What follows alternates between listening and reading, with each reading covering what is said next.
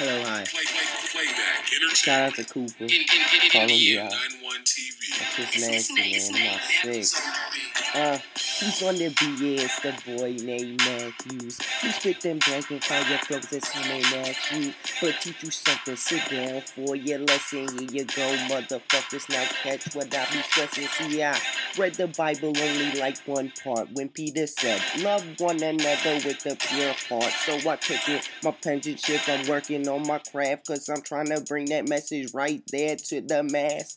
Is Yes, it's what they need to hear. I don't care if they don't like it. Call me corny, call me weird. It's what you really need, yo. What you need to be bumping, need to stop dumping tracks about the pussy you pumping. That's some nasty stuff. No, you won't play for your grandma. Cut your crew up. Yeah, you thinking I got band songs.